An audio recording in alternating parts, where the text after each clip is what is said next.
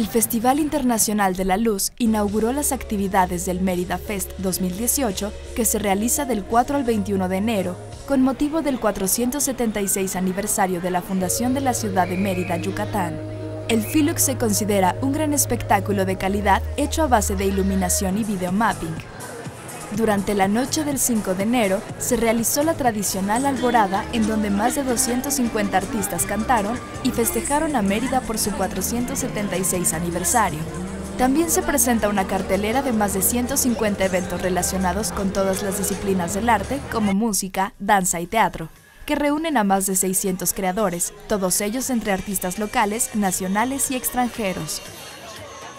Con información e imágenes de Tomás Martín, corresponsal en Yucatán, Notimex.